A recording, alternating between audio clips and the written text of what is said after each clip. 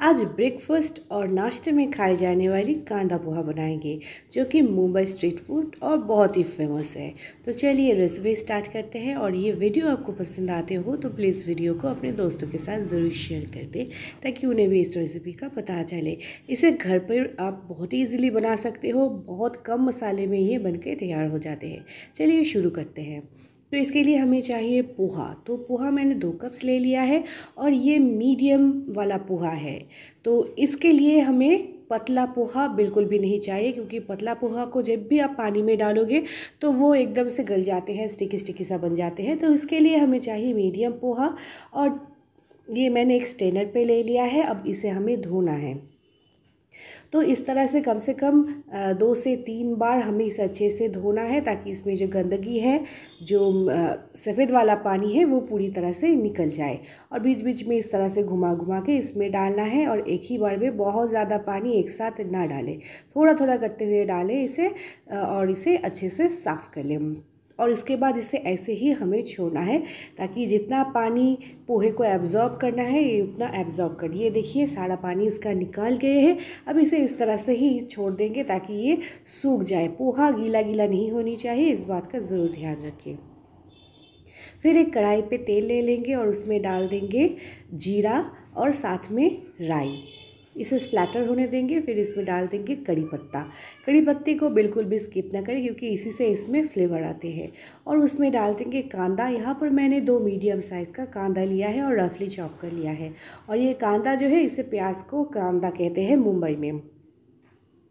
तो इस तरह से इसे फ्राई कर लेंगे और इसका कलर हमें चेंज नहीं करनी है। बस ये ट्रांसलूसेंट हो जाए सॉफ्ट हो जाए, तब तक हमें प्याज को फ्राई करना है।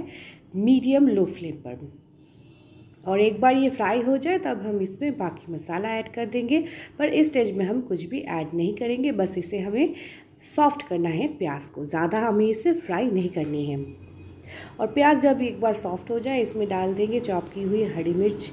बच्चे खा रहे हो तो हरी मिर्च कम डालें। और उसी के साथ डाल देंगे धनिए का पत्ता कटे हुए। तो ये एक मुट्ठी भर मैंने ले लिया है। तो अभी इन सब चीज़ों को अच्छे से मिक्स कर लेंगे। धनिया पत्ते को आखिर में ना डालें, इसी स्टेज में डालें। तो क्या होता है, आखिर में डालने से धनिया पत्ते का एक कच्चा फ्लेवर रहते हैं, जो कि इस रेसिपी में हमें नहीं चाहिए। तो इसे पहले ही डालना ज़रूरी है। और फिर डाल देंगे नमक। और थोड़ी सी हल्दी पाउडर। बस इतने ही मसाला हमें चाहिए। थोड़ा सा चीनी इसमें ऐड कर देंगे, पर चीनी डालने से ये मीठा नहीं हो जाएँगे। बस पूरे टेस्ट को बैलेंस करने के लिए हमें यहाँ पर चीनी चाहिए थोड़ा सा, क्योंकि ये वेज रेसिपी है और वेज रेसिपी थोड़ा सा मीठा अच्छी लगते हैं। तो अभी इन सब चीज़ों को अच्छे से मिला लेंगे और कोई भी मसाला हमें इसमें नहीं चाहिए। फिर इसमें डाल देंगे सूखे हुए पोहा और आप देख सकते हो पोहा एकदम खिला खिला है, एकदम सूखा हुआ है। एक दूसरे के साथ स्टिकी पोहा यहाँ पर नहीं बने हैं। तो जिस तरह से मैं बताया, उस तरह से आप पोहे को धो लीजिए तो पोहा स्टिकी नहीं बनेंगे। तो अभी इन सब चीज़ों को अच्छे से मिक्स करते हुए हमें भूनना है और गैस का फ्लेम मीडियम लो रख के हमें इसे भूनना है। तो बहुत ज़्यादा देर तक हमें पोहे को नहीं भूनना है क्योंकि ये पहले से ही आ, सारे मसाले जो है वो भुने हुए हैं। बस अभी इसे हमें मिक्स करना है। तो ये देखिए, पोहा अच्छे से मिक्स हो गए हैं। अब स्टेज में इसमें ऐड कर देंगे नींबू का रस। ये थोड़ा सा खट्टा मीठा होता है तो इस रेसिपी के लिए नींबू के रस को स्किप ना करें। तो मैंने यहाँ पर आधा नींबू को निचोड़ के डाल दिया है और फिर इसे मिक्स कर देंगे। पर अगर आप नींबू का खट्टा ज़्यादा पसंद करते हो तो एक पूरा नींबू इसमें आप ऐड कर सकते हो।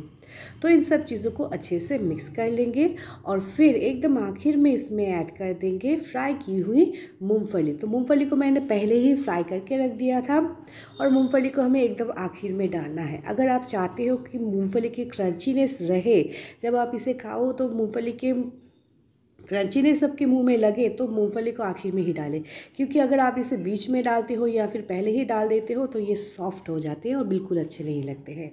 और ये देखिए, हमारा स्ट्रीट स्टाइल कांदा पोहा बन के तैयार है। घर पर इसे ज़रूर ट्राई कीजिएगा और मुझे बताएगा कि आज की रेसिपी आपको कैसी लगी। तो चलिए फ्रेंड्स, मिलते हैं एक और नई रेसिपी के साथ।